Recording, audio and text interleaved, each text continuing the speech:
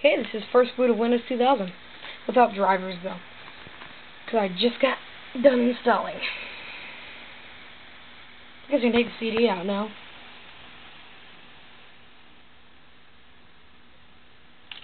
There we go. See how quick it starts up?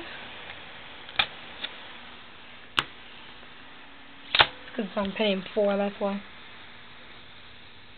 Yep. Windows 2000. Don't see this very many places, folks. Windows 2000 running on a newer computer. Except maybe on Unicorn, Unicorn Guy's channel. Looks like crap. Three words. Whatever. And I did not set a password because I'm lazy.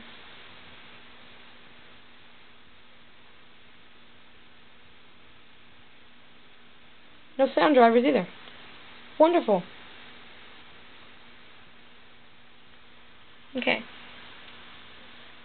So, is this the largest resolution we can go? Hey. Computer. Go that way. Oh my god.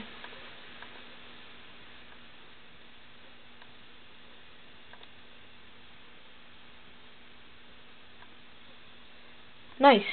800 by 600 pixels with 16 colors. Alright, I'll fix this. But, um, yeah, that's Windows 2000 running on a newer computer.